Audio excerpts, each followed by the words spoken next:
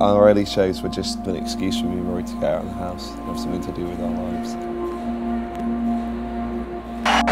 I saw 80s Matchbox B-Line Disaster a couple of months before like we started doing gigs with Drenge and they just kind of came on and played the most amazing show.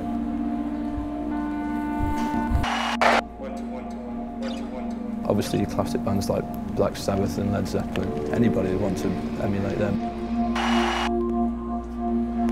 Our first shows to me were really exciting, even though I was terrified. It just meant that I was actually doing something and I felt I was being more productive than I was at school, even though the sound was terrible and our songs were shit. That would be like the highlight of the week or month. Now and then, I, I, do get nervous before we perform. I think it's more of a case of like thinking that we really need to put a good show on because we've travelled 12 hours to be there um, and it has to be good otherwise you'll get upset with yourself if, if you don't pull it off.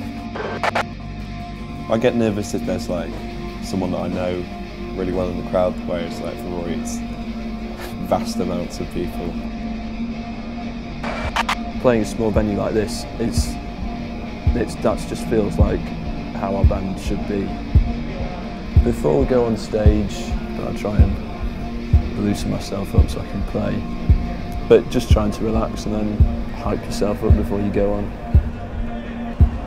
When you're really psyched up when you kind of go on stage and your and your adrenaline level is like it hasn't had to go up, it's just already there. And um, that's when you play best show.